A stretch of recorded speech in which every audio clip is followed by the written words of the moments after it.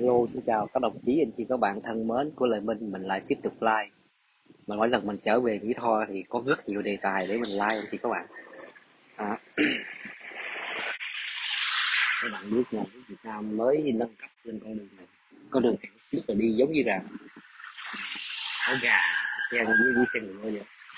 Các bạn thấy một cái hạ tầng cơ sở như gì được nâng cấp lên tạo ra được biết bao nhiêu công ăn việc làm trong cuộc sống một cái ờ, xã hội nó cái kinh tế của xã hội người dân cảm thấy nó trở nên sạch nghĩa và cái cuộc sống nó nó sẽ ờ, thông thoáng hơn các bạn lại có những lại có những cái ngôi nhà, những ngôi nhỏ mọc lên, các bạn thấy và những cái khu chợ kinh doanh buôn bán rồi nó trở nên sôi động hơn, đường xá đô thị. Nông thôn đô thị mình ghé cái cơ xưởng của nhỏ thấp mình mới làm. Mà chưa nói chỉ là một cái người đi làm công nhân.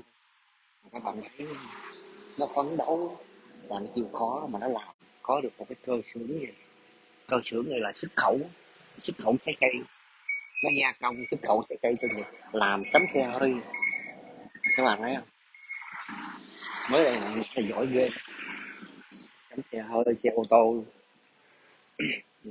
Ở ngoài đây thì giờ này các bạn biết, nhân viên nó làm ở trong rất là kỹ lưỡng.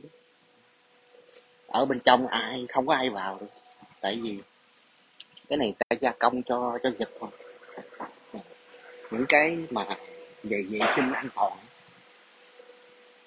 ai vào cũng phải là phải là được tẩy tẩy thuốc được, sạch sẽ mới được vào bên trong gọi là làm theo kiểu mà mô hình khép kín.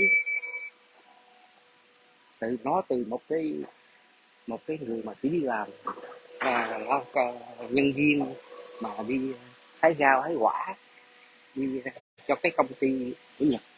Mà nó nó được nó dễ mà nó có những cái cái kiến thức mà các bạn biết nó được.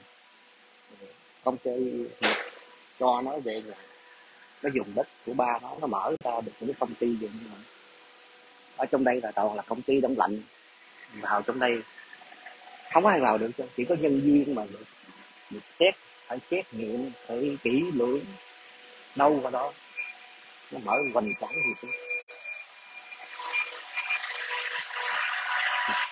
Không thằng nhỏ vậy mình đi có mấy tháng mà mình trở về phải phát triển ra quy mô như thế thôi sợ cho nó càng nước càng mở rộng hồi xưa chỗ này là giống như là một cái bờ mương này trong. Trời, này cái lớn quá chuyện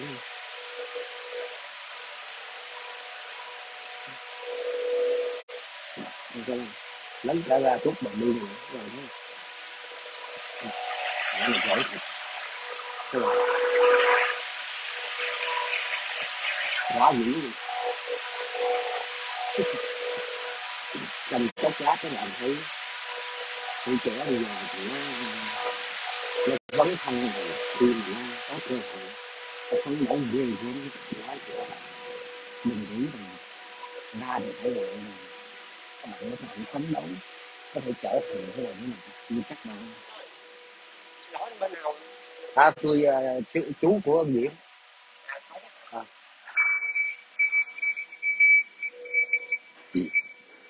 các bạn thấy. Nó phấn đấu còn người ta ở ngoài các bạn thấy điều khi ở trên mạng. Người ta cô chưa nhìn những cái hào nhóm bên này. Nó còn là nợ không các bạn ơi ăn trước trả sao không. Khi mà nó có những cái biến cố kinh tế thì đời sống ờ, của người, những cái người mà làm ăn lao động, khổ lắm từ đó chị có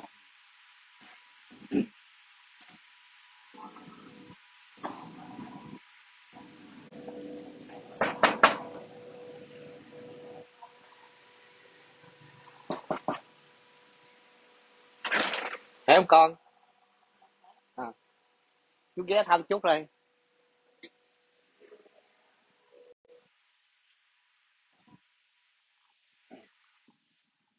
các bạn thấy quy mô quá thời hai năm trước mình về thì nó có chút xíu. Này nó mở rộng quá nữa. Mới sắm xe hơi nữa xe này chỉ sáu chỉ bảy chiếc này là chiếc này là top. Quá là con chứ là dữ dằn. Một lần nữa mình xin chào với bạn kinh mạnh nha. Hạ tầng cơ sở bên này sửa lại ngon quá. Quá trình